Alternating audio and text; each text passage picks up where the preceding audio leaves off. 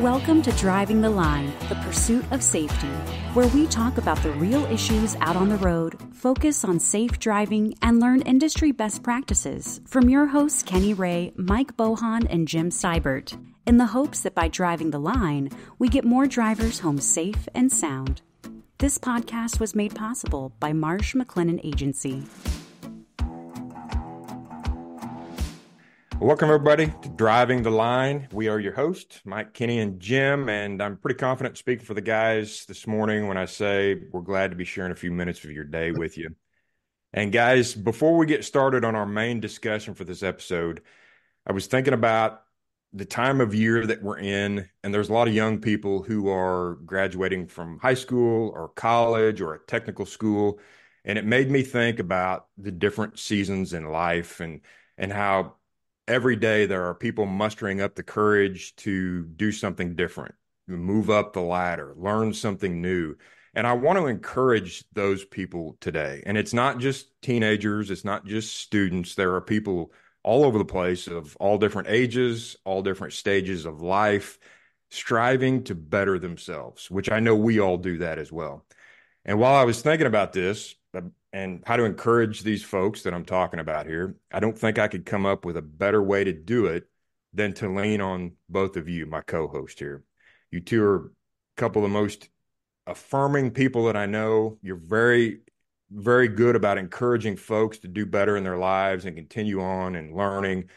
And, and you both care about people succeeding in life. So, so, what encouragement would you give someone who's starting something new right now? Maybe they're just getting their CDL for the first time, or maybe they maybe they just got a safety director job and they've never held a position like that, or maybe they just graduated high school or a technical college. What kind of advice would you give those folks as they're starting this new stage in life? And Kenny, I'll jump to you first.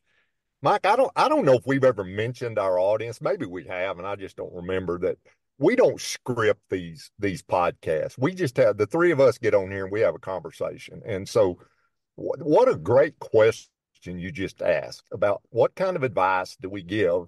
Uh, a little nugget, a tidbit, if you will, uh, for somebody that is thinking about uh, the next chapter in their life, or they're even long range planning where they want to be.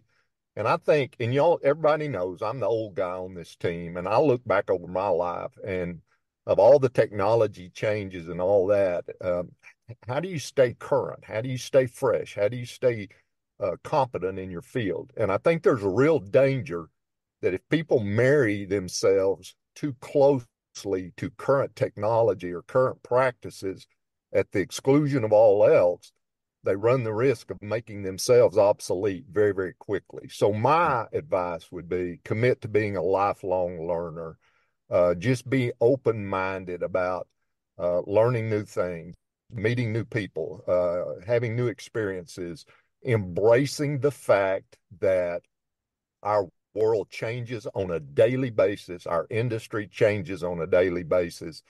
And as long as you recognize that and are willing to understand that that's the field that we play on, it's an ever changing field. And the only way to stay fresh, to stay competent, to stay deeply, meaningfully in, involved in that is to commit to being a lifelong learner. And I and and part of that for me is, uh, and and I know both of you men are, and I am as well. I, I want folks to commit to being readers. Uh, we have got to the point where people don't read much anymore, and there's so uh, many good books, and and uh, I know there's other ways of uh, delivering uh, information nowadays. But I'm I'm a book guy. But you know, I heard a saying one time that not all readers are leaders, but all leaders are readers. And so I would just encourage young people or whoever is listening to this podcast that uh, if you're contemplating your future, uh, commit right now to being a lifelong learner. And thank you for letting me share that. What a great yeah. question. I love that, Kenny. The uh, the reading and the the the learners and I think maybe we take it for granted that we've got such a freedom in our country to be able to have all books over different topics and to expand our mind and to and to help us think and learn something new. Yeah, I just devour books. Uh, if I was given some advice to people joining the workforce for the first time, I think it'd be be fearless. We are generationally speaking, we've had the factory, the hey, I'm going to work this one job, or I need to find a job that's like what my parents had, or um, I need to find a job that creates um, X income for me. And by solely focusing with those blinders on, we may be missing what may make us happier than making a load of money times have really changed. You know, uh, joining the workforce for me, it, like it was, it was forced. I came out of the service fresh back from a deployment, and I'm like, I have a baby on the way. What am I going to do? And I was unemployed for a long time, looking for a dollar value. And a lot of wise men spoke into my life at that time. And when you are young and joining the workforce, or you're switching jobs, being fearless and realizing that you can start over if you're into something and it's it, it it's not filling your cup it's not providing don't be afraid to change. So approach it and don't be afraid to start over. Uh, approach with uh, um, all the vigor that you can and dive in and learn and study and try to be a professional uh, in whatever role you find yourself in, and then continue to learn and transition. And so, too many people come in just being, "Hey, I'm stuck here. This is what I'm going to be for the rest of my life," and that's not the case. You may come out with a college degree and end up doing something that is so far not what you went to school for, and that's okay. And so, uh, don't be too hard on yourself really get after it. Well, I appreciate that, guys. Uh, I'm I'm going to be sharing that with some folks in my family, actually, and and specifically, uh, my youngest, the baby of the bunch, is is graduating this year, and uh, I'm I'm gonna I'm gonna have him listen to this, and I hope he hears your words of encouragement because the two things that you guys mentioned is being a lifelong learner and and uh, just having no fear, being fearless, and taking next steps great advice, and I appreciate that. I really do. Uh, as he's uh, heading off to his next thing, I know there's a bunch of people out there listening to us that are contemplating doing something new, and, and it's it's great advice. So, well, in addition to a bunch of kids graduating this month uh, from high school, college, tech schools, things like that, we've got something else coming up this month, and that is the annual CVSA International Road Check. And if you guys remember, if you've been listening to us for a while, we did a podcast on this last year as well, and and we'll probably continue to do that as the years go on. And and we're not going to try to recreate what we did in that podcast, but if you want to go back and listen to it, it's episode number nine of Driving the Line, and we talk about the history of road check, what it is, that kind of stuff. So uh, go check that episode out. It was it was a great episode, and, and I think you'll get something out of it. But this year, um, as every year they they they set the road check up and they got a couple of different focus areas. Now this particular year we're looking at May 14th through the 16th. And again, that's a midnight to midnight kind of thing where we're just going to see a higher volume of inspections. And I know Kenny different states do this different ways whether we're all hands on deck or just an increased level of uh, of inspectors at, at scales or maybe some more mobile units out there, some portable scales whatever the case is in the particular state that you may be operating in, the the gist of it is there's going to be more inspections taking place during that that uh, 72 hour period. So um, it's U.S., Canada, Mexico. So every state's going to be involved in it. Last year that we were looking at uh, ABS systems and cargo securement, uh, which is interesting. Uh, Kenny and Jim, we were talking about this a little bit earlier. So, so last year, the, the two focus areas were kind of really focused on the truck, you know, with that ABS right. system and and the uh, the cargo securement. And this year, they kind of went back to that where they have one focus area that's on the truck and then one focus area that's actually on the driver. So the first focus area was the tractor protection systems, and this is just a, a, system that prevents air loss from the tractor if a trailer would break away or when a uh, tractor is not hooked to a trailer. And then we've got alcohol and controlled substances possession. So those are our two focus areas. And guys, I mean, we can just jump in. I don't care which one we talk about first, but um, I think these are two good areas that we need to talk about. if if we look at the uh, let, us start with tractor supply or the tractor protection system, Kenny. Um, this is something that companies should be checking, but this is going to be one of the focus areas on the side of the road this year, right? Absolutely. And you know, Mike, uh, we have learned over the past two years that we have a lot of listeners, and we're we're grateful for them that are not in the trucking industry. So what we're talking about here, or uh, let's just pretend there's somebody out there that doesn't have a clue what we're talking about. When you see a, a commercial motor vehicle, and, and most people call them an 18 wheeler, when you see an 18 wheeler going down the interstate, there's a truck on the front end of that thing, and it's got a trailer behind it. And this system that Mike referenced, and it's going to be checked, is the air brake system on that truck.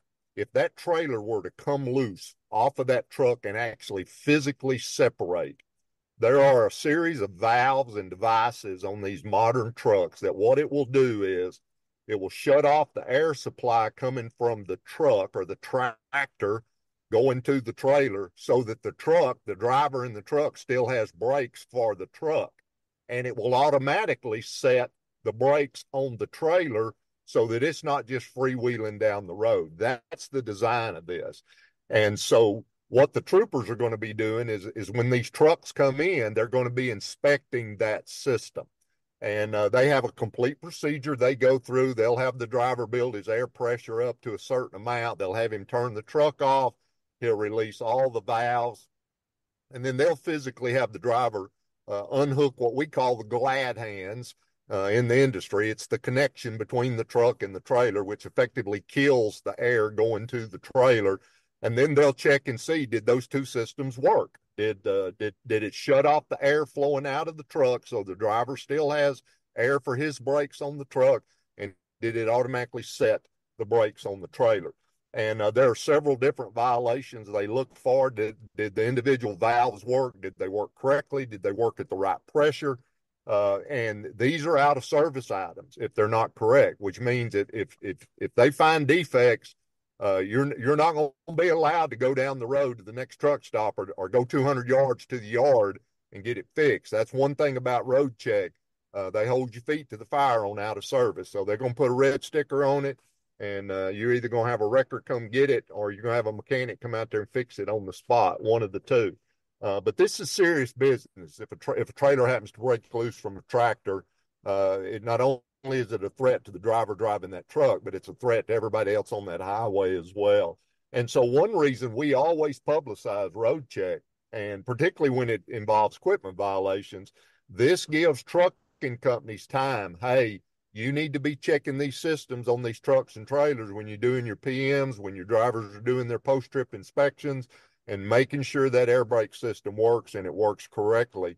Uh, because in addition to being it out of service, another characteristic of road check is uh, they tend to write citations, tickets, mm-hmm. in addition to the things they put on the roadside inspection report. So meaning that the driver or the company will end up having to contact the court and pay a fine and those sorts of things. So it's incumbent upon the trucks, the mechanics, the drivers doing good pre-trip and post-trips to find these defects before road check gets here because uh, it's really, really important that you do. Well, and it just to your point, Kenny, that how do these companies check this stuff? Well, Kenny went through, gave you a high level overview of of of what the process is that takes place, whether it's a roadside inspection and the mechanics doing it. But if you want specific information, there's actually an inspection bulletin that CVSA put out there that you can download off CVSA's webpage, and it explains how the process of that inspection is going to work. Uh, so if you go to www.roadcheck.org, um, there's a there's a, a a flyer for these two focus areas on this road check and and then on the tractor protection and anti-blade system side if you go down through it's going to give you tips on how to do that. And then you can download that inspection bulletin and it will walk folks through that process. So your mechanics should know that but if you're doing some training with your drivers if you're doing some training with your staff um, there's some great information there. And i would point you to that because you need to you need to be sure you know how they're going to do the inspection roadside if you're going to check it at the at the uh, at the shop and and make sure the trucks in in safe operating condition there. So so check those two things out. Again, there's a flyer for the two focus areas, uh, but then get that inspection bulletin as well. If you've got a shop and you guys are checking that in house, I think that's um, going to be beneficial for you as always. You know, the CVSA is great about putting information like that out there, so we want to rely on their resources as well. The second focus area, as I'd mentioned, was the uh, the alcohol and controlled substances possession. Um, and this is again, it's it's pretty straightforward. When in the regulations, obviously there are uh, there are different parts to the regulations that we work with. Part three to two is drug and alcohol testing, but when we're talking about you know possession and and under the influence roadside, you're looking at uh, part three ninety two. Um, there's some information there, 392.5 and 392.4. Um, just like with what Kenny was talking about with with this uh, tractor protection system, uh, these violations uh, for drug and alcohol possession and use roadside are out of service violations without question. Um, there's some information on that flyer about these as well. But one of the things that I did um, was I went in and pulled some information just from the Drug and Alcohol Clearinghouse about drug violations, alcohol violations, positives, things like that. And and since its inception in 2020, we're seeing a trend that's that's not great for our industry.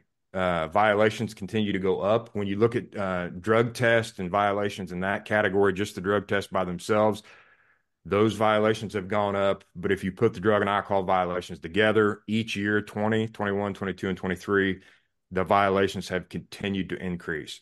Um, so that's one of the reasons why they're looking at this and saying, okay, we're going to focus on this area. This is going to be one of the things that they focus on this year.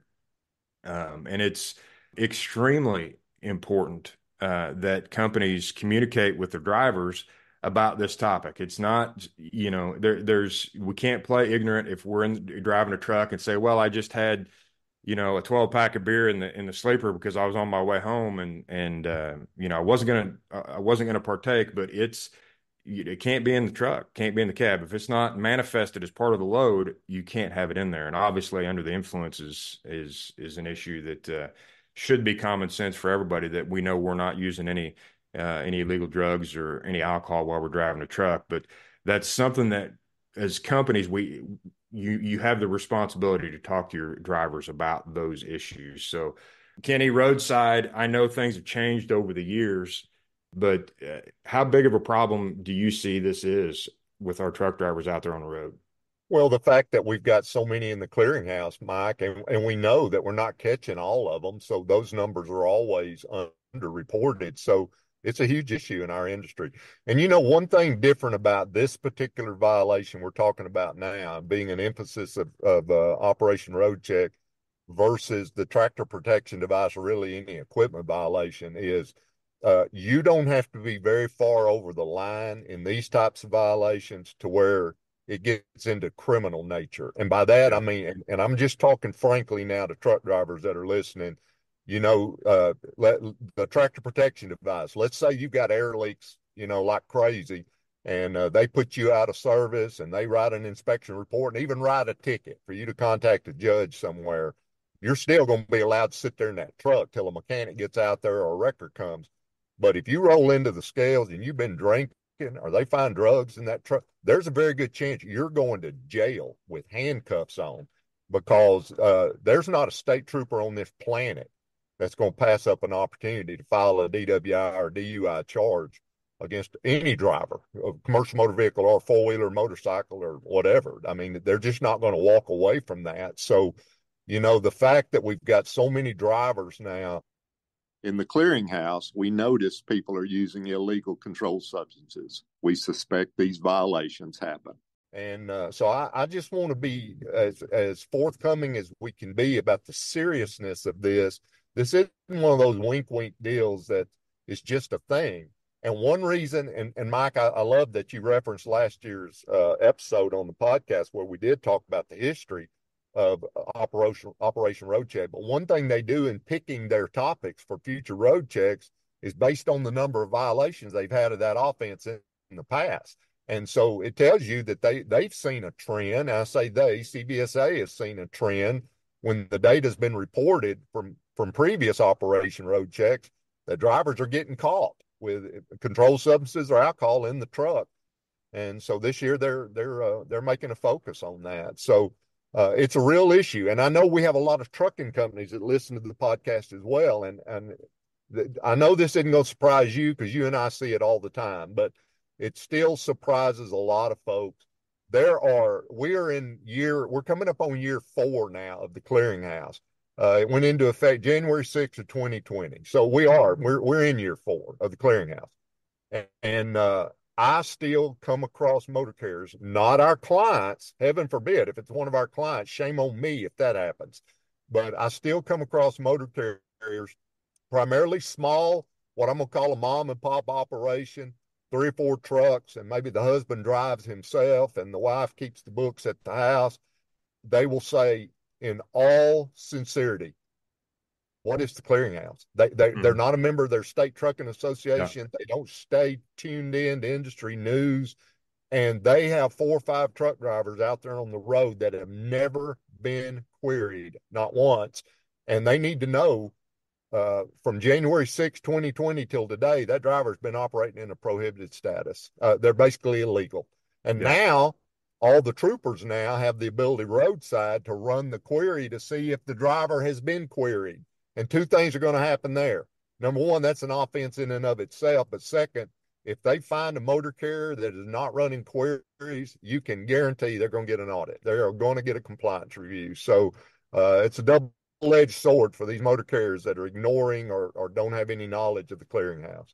Yeah. And I, and Kenny, I think a lot of this focus area probably stems from how many violations we see out there now where they're stopping drivers that are prohibited in the clearinghouse. Those yep. those roadside guys are, are are running those names, and they're coming up prohibited.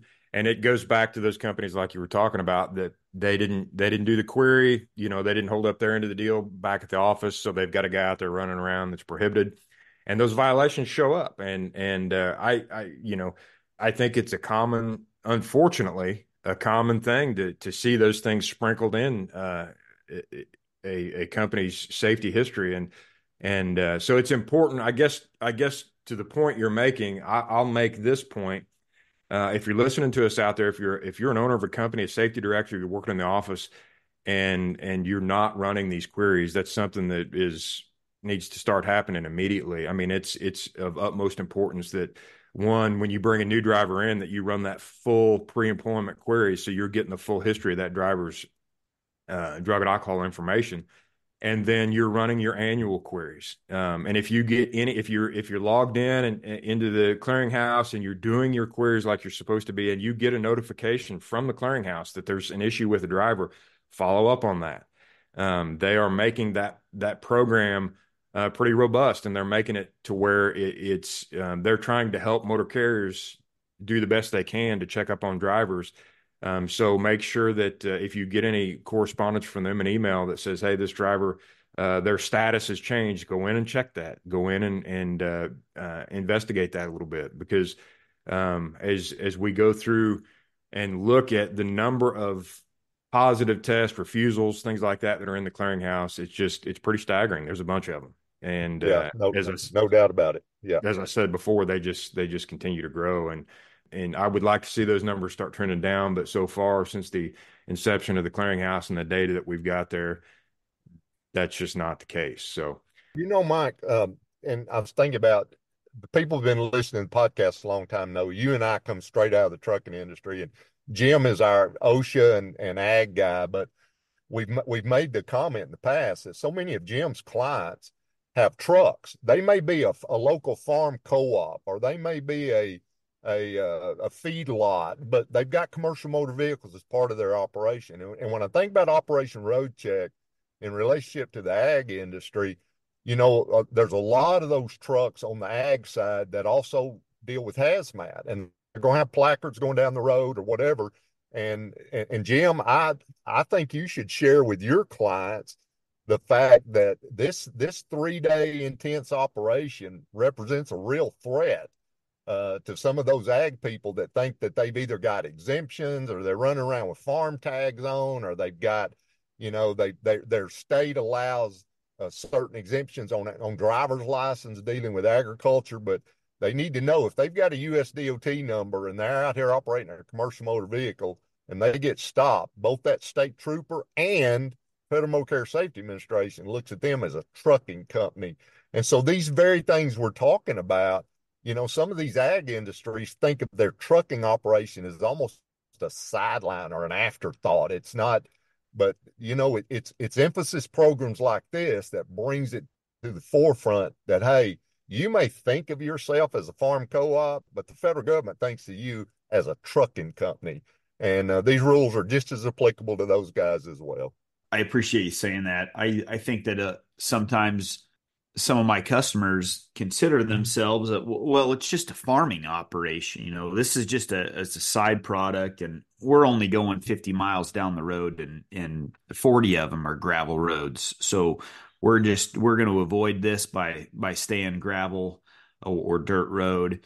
And um, i've had to share with them you you touch that highway you get on the highway you're susceptible to these rules so yeah i'll absolutely follow up with them I know, Jim, you and I, over the last several months, we've worked with uh, kind of jointly on a couple of uh, companies that are your your clients on the ag world, and uh, you know, to their credit, I mean, they they want to know what the regulations are. They want to be in compliance, that kind of thing.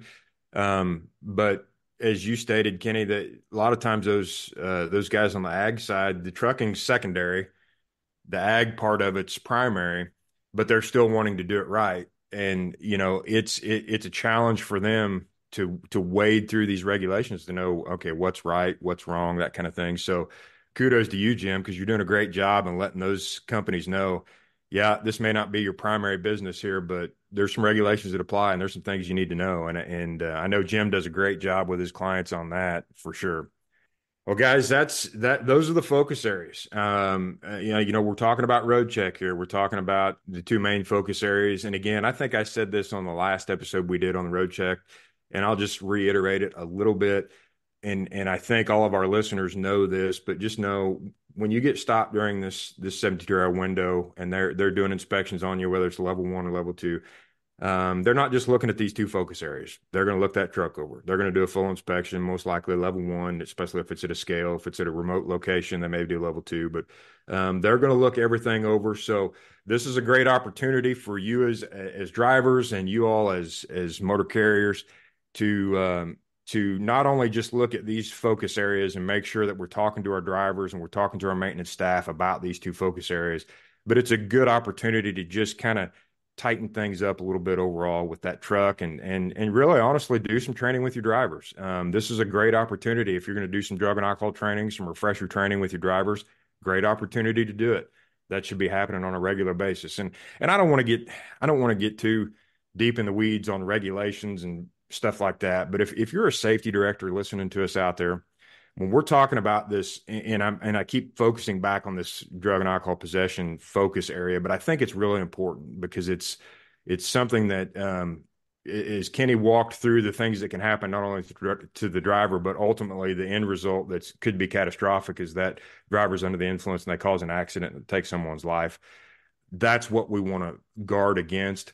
So, for our safety directors out there, if you're looking for some information on training your drivers, go to 382 subpart B, which talks about some prohibitions uh, when it comes to drug and alcohol use, and then look at 392.4 and 392.5. There are some prohibitions of drug uh, possession and influence and alcohol possession and influence there as well. Just look at those two parts of the regs, and you'll have all you need for a safety meeting. Uh, it's it's really right there. You don't have to reinvent the wheel. But just take a look at the regs and talk to your drivers about this. It, it's it's really important. You know, Mike, I've watched you teach, and I, I know you're a master instructor, and I love how you always uh, come around to the training aspect of whatever topic we're talking about. And uh, I agree with you. The drug and alcohol is is so critically important. Uh, but the other topic, the the uh, tractor protection device, I could foresee a safety director going out if they've got their own shop uh, going out to the maintenance director, the head mechanic, whoever, somebody, and say, "Hey, I want to bring a truck and a trailer in here to the shop, and uh, I, w- I want to have a driver meeting and and print off that that inspection bulletin from CVSA, and just yep. the safety director and the mechanic say say, look, here's what the troopers are going to be doing on the side of the road. Can we bring a truck and a trailer into the shop? I want to bring the drivers out here." And let's walk through step by step this process and let all the drivers see number one, what the procedure is going to be, and number two, what happens with the truck, and make sure the brakes set on the trailer, make sure the air uh, reservoir stays uh, up on the tractor, and let the drivers physically see what is going to occur uh, at at that location. And and so I I just I love the fact you always reference training. And I, I could see a safety director using this op- preparation for Operation Roadcheck uh, as a real training opportunity to involve their shop as well. I agree 100%. And I think that's a would be a great practice and and uh, there's some there's some opportunities here and, and, when we go back to the beginning of this podcast when you guys were giving some advice both of you talked about being learners and and uh, having that be just a part of your life this is a great opportunity for continued improvement for the drivers and mechanics. Because i'm telling you uh, we're not you know it's the goal is not to make your driver a mechanic to s- diagnose a problem and fix it whatever. But if you t- would take a driver out walk them through that inspection bulletin and the process of checking that tractor protection system their understanding of that the way that this vehicle that they're operating works has increased it's making them a better driver now they're more Absolutely. they're more professional they they yeah. they've gained a skill now. They understand how this works. They understand what happens if they do get uh, for some reason we get involved in a situation where their trailer breaks away from the tractor. They understand the process of how this tractor protection system works and what it's doing and the importance of inspecting it. So I think that's a great a great point you bring up, Kenny. So um, there's some opportunity here. If you're listening to us out there, there's some opportunity here um, for for continued learning, for for continued improvement. So take advantage of that stuff for sure, guys. I think I think some a couple of good good focus areas here for for our companies, and, and hopefully you guys uh, will take this information and really take it out to your uh, companies and share and, and discuss discuss these topics with your drivers, with your mechanics, um, all throughout the company, um, so everybody understands the importance of of why the CVSA does uh, what they're doing in this road check. So, with that, I, I, think we'll close. We appreciate everybody that's listening to us. Uh, and I know we say this a lot, but we certainly do appreciate you joining us. We hope that you get something out of this. And, and if you want to provide any of us feedback, I know that uh, uh we would certainly take it uh, because we do this for you all. We like to get together and talk safety. And I know Kenny and Jim, you guys and I, we would all get together and talk safety. This is fun for us. But the podcast itself is we want to share this information with with uh, all you folks out there listening. So we appreciate that. To all of you out there, whether you're a young person graduating, uh, maybe you're stepping into a new a new role, or maybe you're just maybe you're just thinking about stepping into a new role. I want to encourage you with Kenny and Jim's words before: be fearless. Don't be afraid of the next step in life, and just continue to be a lifelong learner. And we are looking forward to having you next time uh, where we're going to talk about how we got into the safety world and maybe how some other folks out there in the industry uh, got into the safety world. Uh, I think it's going to be a great conversation. But until then, we we certainly do appreciate you joining us. Stay safe out there, and we'll catch you next time right here on Driving the Line. That's all the time we have for this episode of Driving the Line The Pursuit of Safety. We hope you enjoyed our discussion and thank you for listening. You can rate, review, and subscribe to Driving the Line The Pursuit of Safety on Apple Podcasts, Spotify, or any other app you're using. You can also follow Marsh McLennan Agency on LinkedIn, Twitter, and Facebook. Until next time, thanks again for listening. Drive safely, everyone.